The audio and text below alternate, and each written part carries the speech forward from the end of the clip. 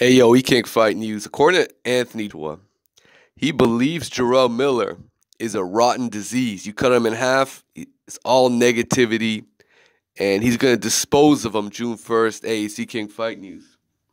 We got more on this. Hey yo. Anthony Joshua. Back at it, man. He's feeling a bit of a backlash. Uh, for the first time, he's understanding what it's like to have legit pissed off dude in front of him that really wants to beat his ass. Man, like it's point blank. Jarrell Miller wants to get at AJ. Um and he wants to he wants to really push him to his limits in terms of what he can take uh verbally. You know, he wants to put it, you know, he wants to make sure that he gets into AJ's head.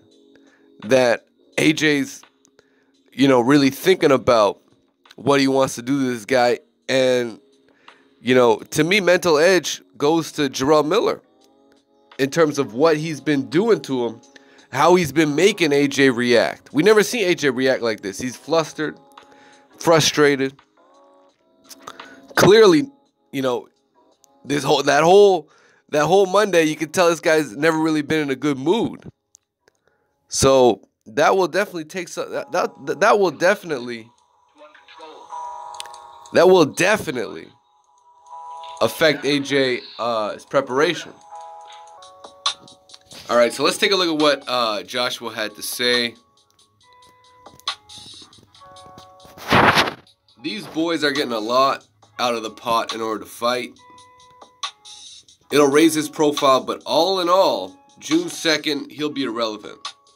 So it doesn't matter how much he wanted this fight. I just think if you cut Jarrell Miller in half, he's just a negative, foul person and don't have much good to say about anyone or anything. So if you ask Jarrell Miller about anything, he's probably going to talk shit. That's just how he is, isn't it? So with this fight, I feel like he'll say what he has to say because it's just current.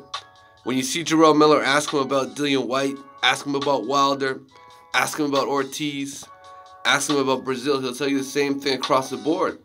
Never something positive about any fighter. So if you cut Jarrell Miller in half, he's just a disease. He's just a rotting disease. oh man, yo. You could you could just tell, man. You could tell Anthony Josh was a bit flustered here. He doesn't know um, how to deal with Jarrell Miller. Um, uh, and, and oddly enough, you got to look at what Jarrell Miller's doing. He's building the fight. This is what Jer- this is what AJ doesn't get. He's actually building the fight. He, he's helping you. He's helping you. But hey, just getting started, guys. I mean, just just look at what happened, right?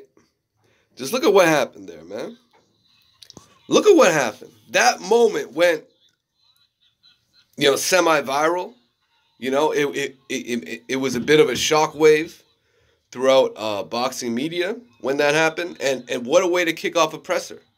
You know, staged or not, uh, these are the kind of moments that build a fight. These are the kind of moments, right? Whether it's on some WWE shit or not. So uh, AJ should really he should really be thanking him. He's never had an opponent doing all this building doing all the build for him like that, man. When's the last time AJ had an opponent that would build the fight like this for him? You guys tell me. Dillian Whyte probably would have pulled some shit too, but um, Drum Miller can talk that talk, man. And that that's, you know, that's what makes this fight intriguing. It's it's not the fact that um, um, he could he could be fighting, you know, you know, he he he, he quote unquote passed on a Luis Ortiz or he passed on a Dillian Whyte fight. Um, this is intriguing because of Jarrell Miller. And oddly enough, uh, Anthony Joshua, I don't know if he realizes that or not, but but that's the reason. This is the reason why this fight is intriguing right now. It's because of Jarrell Miller. So, you know, when AJ wants to talk all this talk, yeah, he, he's kind of feeling that type of way because no one's made him look like a punk. No one's punked out AJ like that. So, I mean, that's just my thoughts, man. E King Fight News. Smash the like button, subscribe to the channel if you haven't already, man. And y'all know what it is. We're out. Peace.